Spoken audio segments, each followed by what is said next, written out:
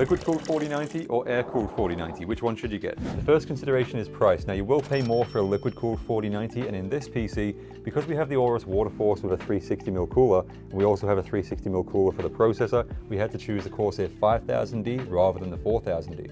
Another consideration is temperatures and noise level. So the liquid-cooled 4090s are roughly 10 degrees cooler than the air-cooled 4090s at full blast. The lower the temperatures, the lower the noise level, because the fans don't need to spin as hard to cool it down. And lastly, if you're getting a crazy top-end PC and you just want the best of the best, then get yourself a liquid-cooled RTX 4090.